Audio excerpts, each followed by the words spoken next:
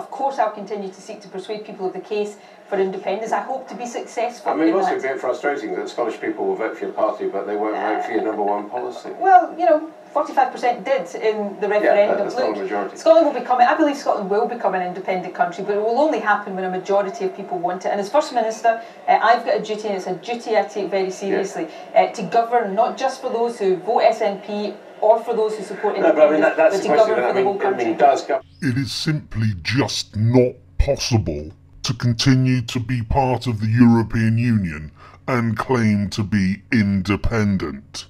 You may want to get away from London, England, Wales, and Ireland, but to think that you're going to be independent whilst still being part of the EU is utterly delusional.